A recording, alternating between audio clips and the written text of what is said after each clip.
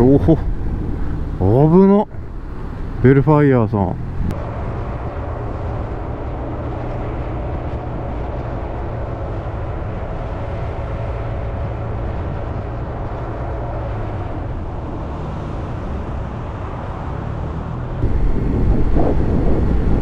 おお危なベルファイヤーさん。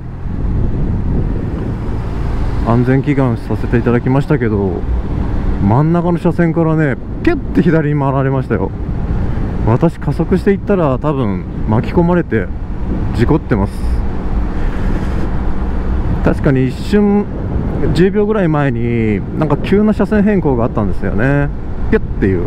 あれ？って思ってたら案の定私の目の前で急な2車線またぎのね左折ですよ。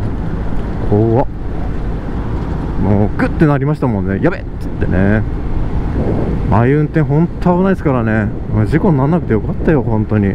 常に安全運転でね行きましょう。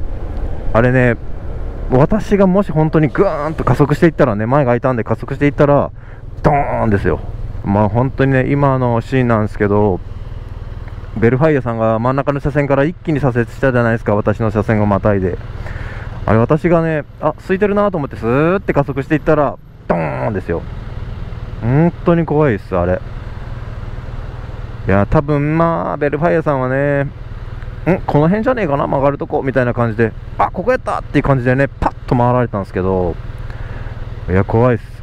あれ本当にもうねどちらかがね安全運転してたからやっぱりね良かったんです。まあ、今回の場合は私がねあもしかして変な車がいるなっていう警戒感のもとまあ、速度をね一定して走ってたんでね良かったと思うんですけどね。もう私がもしねちょっと油断してお開いたぞと思ってぐーっと加速していったら本当にね事故です。ああ怖かったよ今。本当にね皆さん安全運転で行くのが一番です。本当に。どちらかが安全じゃない運転してても危ないしそれが出会ってしまったら事故になるということですね。安全運転で行ってください。